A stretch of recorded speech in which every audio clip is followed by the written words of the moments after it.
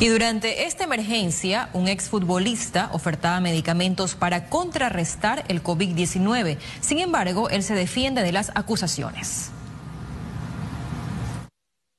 Estas son las capturas de pantalla en las que cinco ampollas de Actenra se estaban comercializando. El denunciante solo necesitaba dos para su padre que tenía el COVID-19, pero le hicieron otra propuesta. Que era eh, cinco ampollas de 80 miligramos, que era lo que se necesitaba, a un precio de 3.500 dólares. Él pidió que protejamos su identidad por temor y también cuenta que tuvo un diálogo con Paredes y nos permitió difundirlo en exclusiva aquí en el noticiero. Dígame, ¿en cuánto cuestan las Actenra para... para eh, necesito cuatro.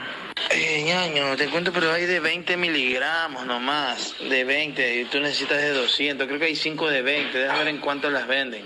Necesito la de 200, pero no sé, pues este, es que esa, esa, es, esa es la que básicamente necesito. Buscamos la versión del exfutbolista y él se defendió. Dijo que alguien más se la dio tras comprarlas en una farmacia. ¿Usted llegó a vender esta medicina por ayudar? No, no, no, no.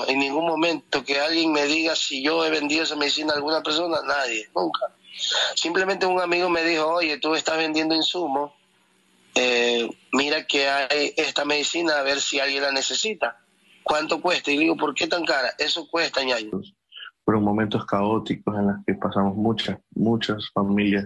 El denunciante confirmó que todo ocurrió en el mes de abril. Su padre estuvo en el hospital de Los Ceibos donde le dijeron que no tenían la medicina y al final eh, murió por coronavirus. Emilio Zamora, TC Televisión.